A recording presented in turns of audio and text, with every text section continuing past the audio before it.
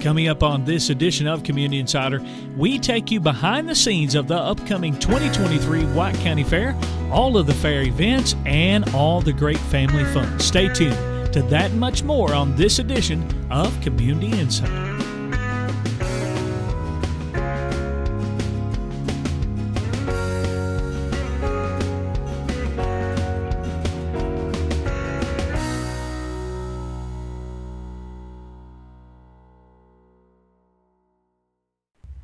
Hillham, Tennessee, we're taking you to Standing Stone State Park, located in the Cumberland Plateau. It's the home of the world famous National Rolley Hole Marbles Championship. George Roberts, our reporter, takes you behind the scenes of this sport and the natural beauty that awaits us on this edition of Community Insider. The first year of this tournament was 1983. Okay. We, uh, we tried to get one in 1981. It got rained out but it gave us a chance to, to regroup and build a beautiful yard here. It was built by the marble players and we had a park ranger that knew a little bit about it. It all was put together to become just a great piece of, uh, of the landscape here. And that's the way marble yards are Yeah. out in this country. 30 years ago, Bobby invited me to be the first woman to play. Uh-huh. And I had never heard of ho- Rolley Hole. Yeah. And they showed me, and I said, that's a crazy game. Why don't you just put them in a circle and knock them out? they said, no, that's more challenging. I said, oh, yeah. Yeah. So, anyway, but I've been coming.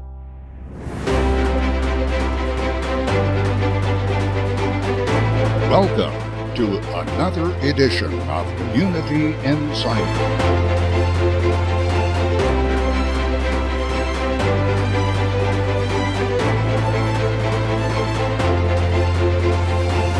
Join us as we travel Middle Tennessee, uncovering history and experiencing the adventure of unique stories and events coming to you inside your community.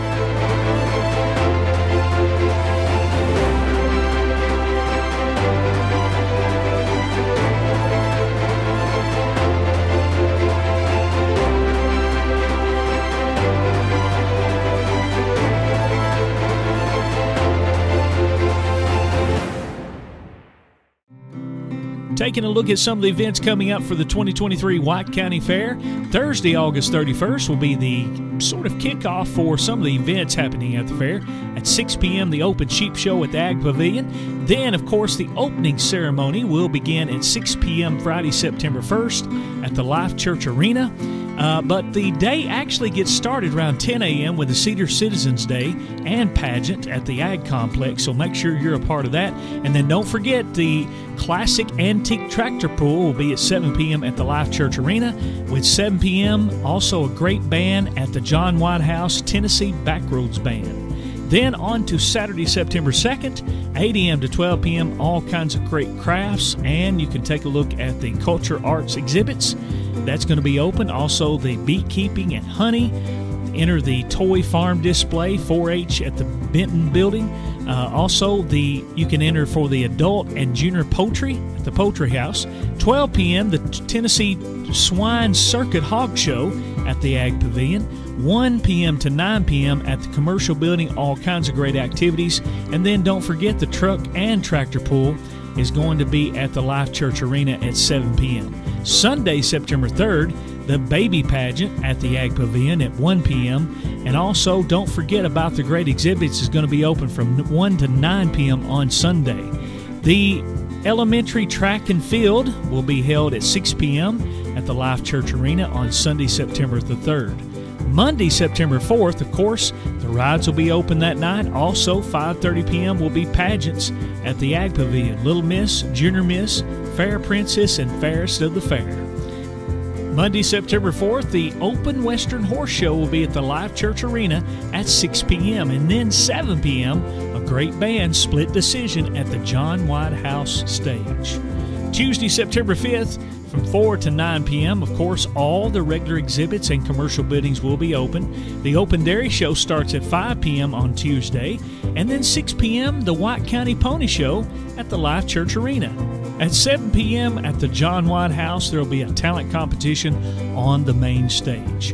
On to Wednesday, September 6th, 10 a.m., the White County Pace Setters Day will be at the Ag Complex. From 4 to 9 p.m., all of the regular exhibit and commercial buildings will be open. 6.30 p.m., the four-wheeler race and motorcycle race, of course, right there center at the Life Church Arena. Thursday, September 7th, there's going to be an open beef show at the Ag Pavilion at 5 p.m. The Heavy Machinery Rodeo at the Life Church Arena, including a great performance from Dramatic Endings on the stage at John White House at 7 p.m. Friday, September 8th, of course, the County Fair Cruise In with classic cars and trucks. Make sure you go and enter the Gate 2. Enter at Gate 2 at 5 p.m. for the Cruise In. At 7 p.m., the Rodeo by Outlaw Rodeo Company will happen right there at the arena. It's going to be a big night at the White County Fair. Get some great entertainment. for on the floor is going to be at 7:30 p.m. Friday, September 8th at the John White House stage. Then Saturday, September 9th, the Open Mule and Draft Horse Show will be at the Ag Pavilion. 11 a.m., the Kiddie Tractor Pull at the Ag Complex. 1 to 9 p.m., they're going to have all the exhibits and commercial buildings open. And then 3 p.m., the Cornhole Tournament at the Ag Complex. The Kiddie Demolition Derby will be at the Life Church Arena at 6 p.m., and the Big Demolition Derby at the main arena, Life Church Arena, at 7 p.m. Then we're going to end the Saturday night with a great band, the Connection Band, at the arena stage. That and much coming up at the White County Fair. I hope you've enjoyed a highlight reel of what's coming up for all your family at the White County Agriculture Fair 2023.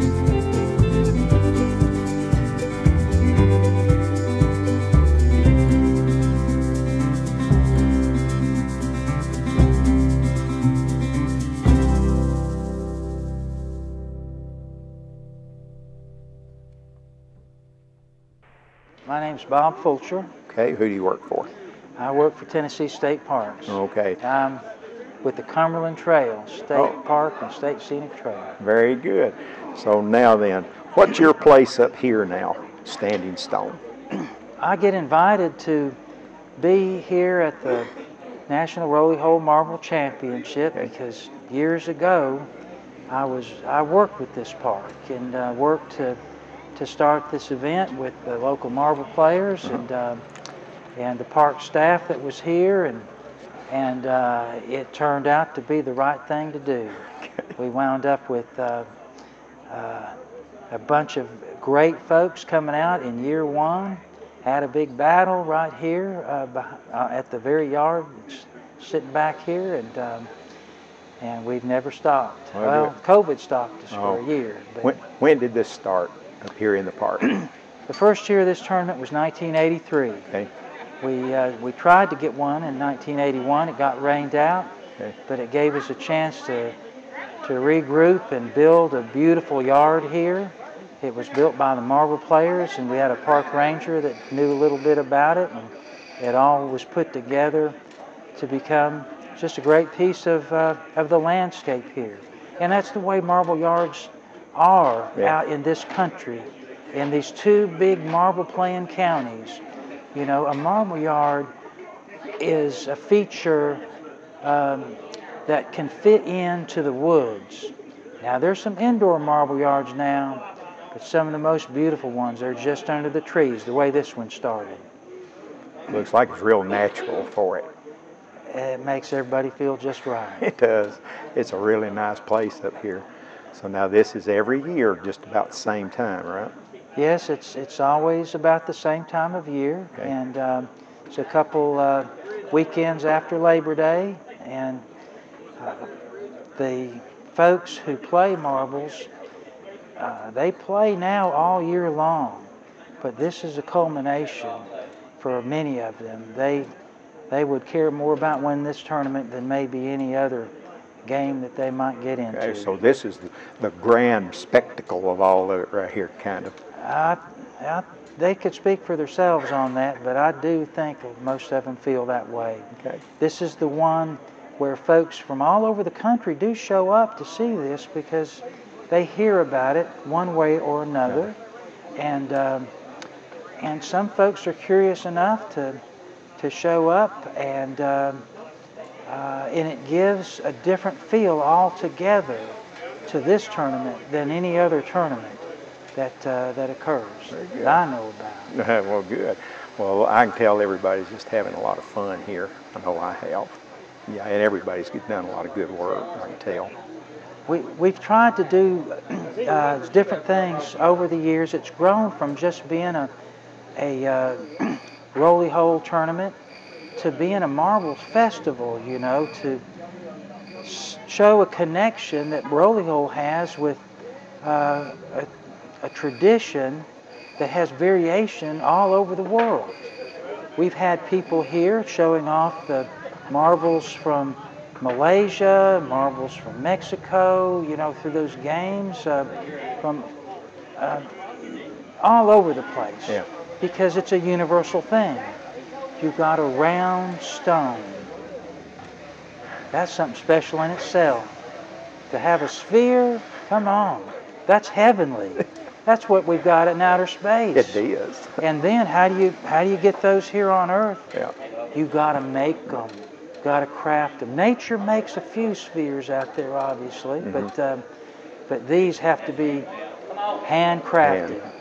And the more perfect they are, the better folks feel about Yeah. it. Well, good, man. I'm- I'm- Perfection goes over pretty well here. Well, good.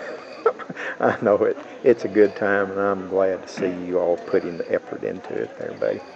Well, there's a, a lot of effort that does go into it, you know, from the folks that cultivate this yard. Yeah. A few days ago, if you'd been out here, you'd, you've been seeing and laying new layers of dust down, wetting the yard down, clouds of new uh, loam uh, flowing over the top of it, Yeah. and then um, a tire or a, uh, a metal truck wheel being drug across to to smooth it out to give it a, a perfect pool table kind of quality Yeah. out of earth. Yeah. Put more work into it than to do a golf green. Yes, out, out of just plain silt Yeah. from the river, Yeah. from the Cumberland River. How can people be so dedicated as to create such a uh, a field of play? Yeah. Man, they love it. They love the game. Good. Well, I'm certainly happy for you. Uh, I know I've had a good time here today, and I like to come back. Oh, I hope you'll be back. Yeah. Uh, you've Bob. seen a lot of good stuff. I have today. Rangers, the staff, everybody around just been great. Yeah. They have. Thank you for being here. I'm certainly glad. Uh, Bob, I hope to see you again. Now then, tell me your name. Cathy Runyan Svacina, And they call you what? the Marble Lady. The Marble Lady. Where do you live? I live in Kansas City, Missouri. Okay. Now then, you've been coming here for 30 years. This is my 30th year this year. Yeah, and you were the first woman to play the marble. 30 tournament. years ago, Bobby invited me to be the first woman to play, Uh-huh. and I had never heard of ho- Rolley Hole. Yeah. And they showed me, and I said, "That's a crazy game. Why don't you just put them in a circle and knock them out?" they said, "No, this is more challenging." I said, "Ah, yeah." Yeah. So anyway, but I've been coming since. Okay, so now then, you started then, and it, it, it made an itch that won't go away. I've been playing since I my four brothers said I couldn't play. Girls couldn't play when I was about eight years old. Okay, but the rolley hole thing. The rolley Hole, really, yes. That really. really One, yeah, it grabbed my heart because Yeah. there were so many good people here, and it to see them so involved with Oh, yeah. marbles. Yeah. See, I can see you down there about how much fun you were having when I caught you a while ago.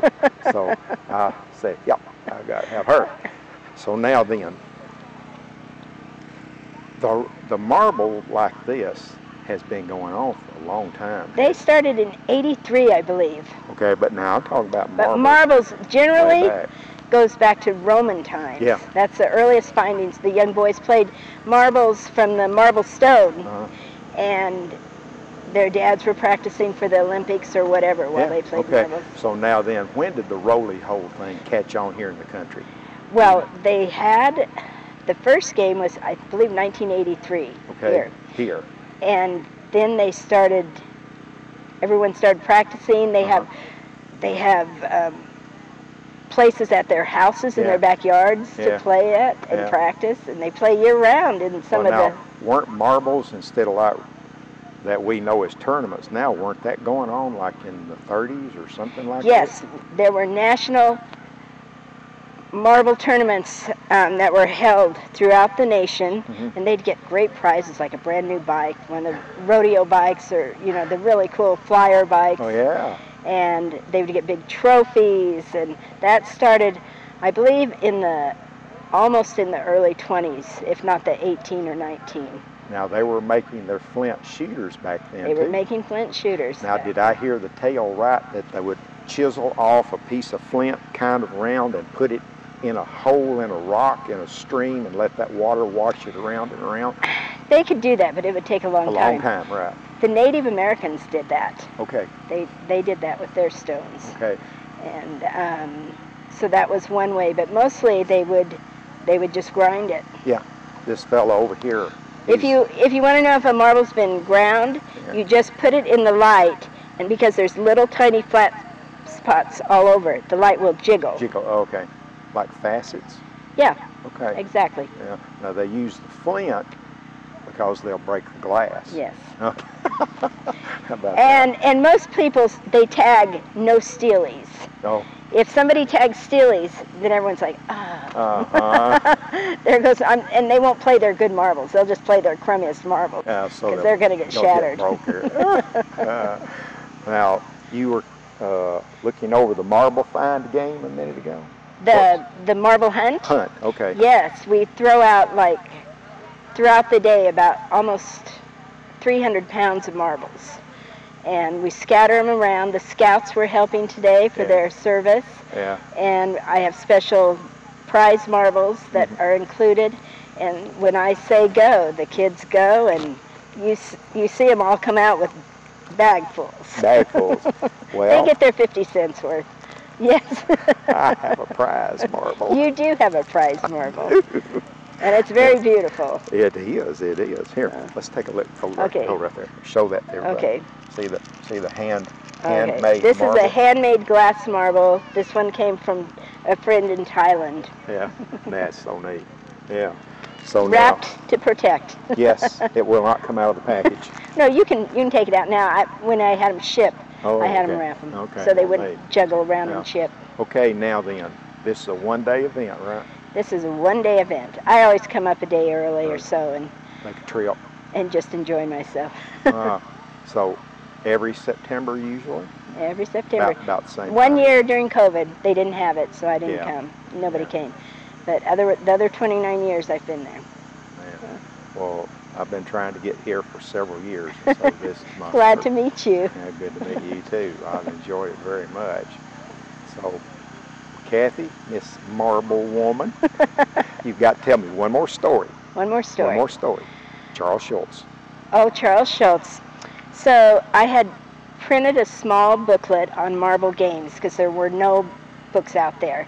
And he had gotten one and he wrote me this beautiful letter and he said, I hadn't thought about marbles for decades. He said, but I used to be a marble fanatic when I was a young boy. And he said, watch for this upcoming comic strip. And it was a nine day series and I, I've got it saved. It's at the museum Yeah. and this little stranger kid came into town and he fudged and he cheated and he won everyone's marbles illegally. and so they all went crying to Charlie and they said he cheated, he stole our marbles and Charlie said, "Step back." And for the only time, and he challenged him for a game for all the marbles, and for the only time in his whole lifetime, Charlie Brown was allowed to win. And so I loved it. Well, Charlie Brown finally won. won. He did. won. Cathy, it's been so much fun talking to you. you too, George. I will see you later. Okay, thanks. sweetie. Edges. Then I move over to the diamond grinder. And when I get to the diamond grinder, I smooth them out more, get a little bit more round. Then I'll come up here and finish getting close. And then I'll spin them. And this is just a, take a grindstone just like that. But then I start just a little hole in it, set that marble in, spin it against that rubber roller iron, and as it spins, it cuts it true, it cuts it round. And then I measure with the digital calipers get it, you know, precise. And just back and forth between spinning and I'm good.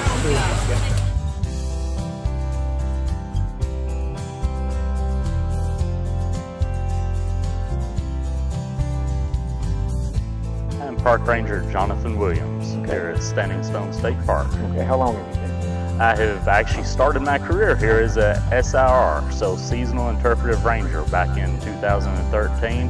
And after working at Fall Creek Falls and getting full time on at Burgess Falls, I transferred back here back in 2020. Okay, very good. You like the park? I love the park. Yeah, everybody here seems to. Absolutely. Uh, that's, it's been a pretty good place. It is. So you got the lake down here. We do. Now then, I don't think we can see the dam, but a little clip. How was that dam in the lake? What, how did it come about? What happened? So this park was created in the 1930s by the WPA, the Works Progress Administration. Okay. Yeah. Um, they, it was a New Deal project from FDR, and a lot of the local folks here, uh, it was just their way to make a living make a make a dollar, send it back home. And so they done a big project here along with the resettlement administration as well. Uh, a lot of the land here used to be owned obviously by private folks. Mm -hmm. They moved off and when the WPA started their work, they built the cabins, they built the dam, they built some of the trails, essentially everything that's rustic here in the park, they built. So the cabins, most of those are still original from yes, the 30s. Yes, that is correct. Uh, if you uh, check out any of the rustic cabins, uh -huh. uh, those were built in the 1930s, and a lot of the wood inside those cabins actually are American chestnut, which was also uh, the timber was cut here in the park. In the park. Yes. Yeah then the blight hit and then it all went away. Now all of this mostly was, I believe, after the blight anyway, uh -huh. or it was around that time. Okay, all right. So this was left over probably. Yes, uh, some of it was, and uh, we have several cabins uh, that was from mm -hmm. the WPA still standing that is still used, yeah. and a lot of them did just recently get re renovated. Yeah, but they're still trying to keep them in the old rustic style. That's, that is correct. Man, that's great. All right, how big is the park? So the park here is roughly about a thousand acres. Now it's surrounded by about 10 to 11,000 acres of forestry. That's Tennessee, is it Tennessee State Forest? Yes, it is. Okay. Standing Stone State Forest, State Forest is the technical name. Okay, great. Right, Highway 136 runs through the middle of it up to Hillman. So runs up to Hillham. So technically the park address here is Hillham. Yeah. Now, if you talk to some of the old, uh, locals here, technically the park is in Timothy, but Timothy technically no longer exists, exists. anymore. Was that at the intersection of 52? That is correct. Okay. That is correct. okay, great. Well, it looks like activities are winding down for today. Is that right? Have that you is, had a good day today? Oh, I think, I know I had a good day. I know we had a lot of good uh, folks here today, and mm -hmm. it seemed like a lot of people really enjoyed their stay here. Well, does the park stay busy most of the year? It does. Okay. It does. Uh, we stay busy and especially on weekends. We're very busy. Um, and during holiday weekends as well, but anymore during fall break, mm -hmm. we stay busy then too. Fall time, the colors come out nice up here. That is correct. I've been up here and took pictures around the lake itself, and there it's really nice down there. That that is correct. Yeah. It, it gets very colorful here, and it, it, it, gets busy during the fall. well, it's a small park, but it has a lot to offer. I found. It does, it does. So not only do we have the National Rolley Ho tournament, like what's going on today, uh, we also have the car show coming up on October 8th okay. of this year.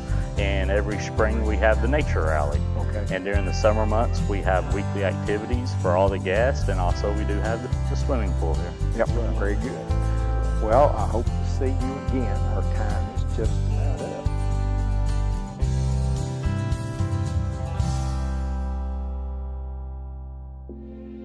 All your local programs is home to you. Community Network Productions invites you to check out our website. That's communitytvtn, all one word, dot com. Also, we're on YouTube. Check out our YouTube channel on your smart TV or any mobile device, or simply just Facebook and Instagram. We'd also like to hear from you with show ideas or if you got a question about a show. Email us at communitytvtn at gmail.com.